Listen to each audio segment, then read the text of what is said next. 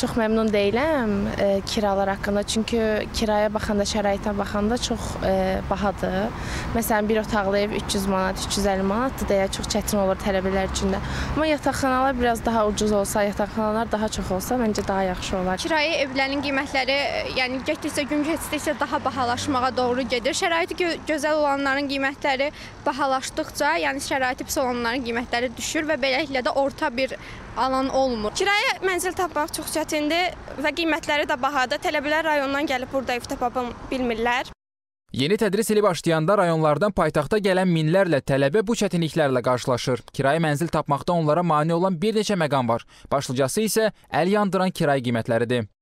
Köhnə tikili binalarda kirayə evlərinin qiyməti 1 otaq 250-300, 2 otaq 350-400, 3 otaq 450-500 manatdan, Yeni tikili binalarda kirayə evlərinin qiyməti 1 otaq 450-500, 2 otaq 550-600, 3 otaq 650-700 manatdan başlayır. Xüsusən metronun Elmlər Akademiyası, İçəri şəhər 28 may stansiyaları yaxınlığında yerləşən mənzillərdə kirayə qiyməti şəhərin digər yerləri ilə müqayisədə 200 manat bahadır. Bir neçə tələbə, hətta 3-4 tələbə birləşərək 2 otaqlı evdə və yaxud 3 otaqlı ev kirayə eləmək məcburiyyətində qalırlar. E, təbii ki, bu sentyabr ayında ən çox biz müşahidə eləyirik və oktyabrın əvvəllərində, noyabr, dekabr aylarından isə qiymətlər yenidən stabilləşir. Yəni fürsətdən istifadə edib qiymətləri artıranlar bir müddət sonra bəzən görsən ki, tələbələr onu ödəyə bilmir, çıxıb yeni ev axtarmağa məcbur olurlar. Bu zaman artıq qiymətlər stabilləşir. Araşdırma zamanı məlum oldu ki, kirayə ev axtarışında olan tələbələrin tək problemi qiymət deyil. Bu məsələdə oğlanlara çətinlik yaradan başqa məqam da var.